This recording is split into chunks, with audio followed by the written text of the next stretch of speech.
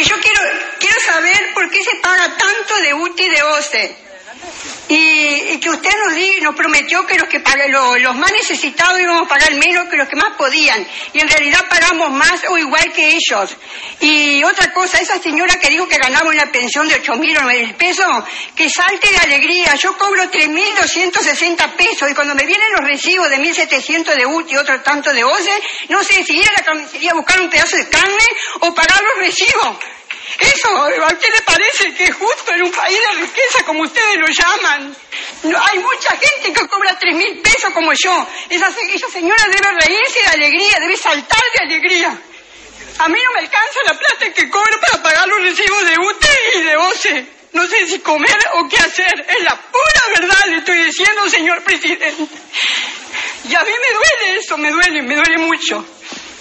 Y, permítame decirle, yo tengo dos hijos que trabajan en tareas rurales en el campo y va a tener que salir a, recorrer a distancia porque la gente trabaja con hambre. Mis hijos me cuentan, ellos llevan mamá comprar que llevar para tomar mañana cuando salga a trabajar. Con un café negro salen al campo a trabajar y cuando llegan el mediodía, el que no atropella la olla se queda sin comer y así si se quedó sin comer, no le van a ir a cocinar porque se quedó sin comer porque la olla no alcanzó. Así sale hasta la noche que vuelve a, la estancia de nuevo. Y es la pura verdad, señor presidente, lo que le estoy diciendo.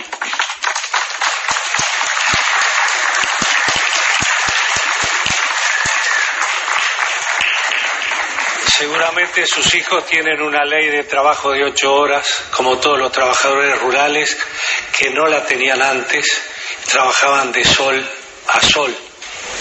Seguramente sus hijos tienen derecho a cobrar un salario vacacional que antes no lo cobraban. Tienen derecho a cobrar un aguinaldo. Y hoy tienen derecho, porque antes tampoco lo tenían, en el Consejo de Salarios a defender sus salarios. ¿O miento, señora? Ah, es así, ¿verdad? ¿Verdad? Claro. Ahora, comparemos, comparemos, comparemos lo que tenían antes a lo que tienen ahora. Si habremos contemplado a los que menos tienen, por ejemplo, como a las trabajadoras eh, domésticas. Antes los trabajadores tenían que, rurales, vivir en el establecimiento, le daban un, lo conozco el tema, le daban un pedazo de capón, un guiso, un puchero, como saliera, y le pagaban unos pesos y no tenían derecho a jubilarse porque no estaban registrados, porque el patrón no lo declaraba. Hoy han conquistado todos esos derechos. Mire señora, yo la comprendo. Estoy hablando del tema de los trabajadores rurales.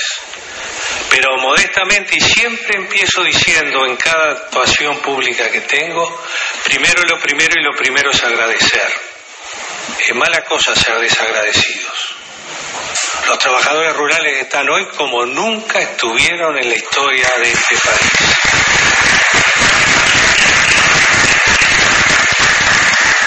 O miento, uruguayas y uruguayos.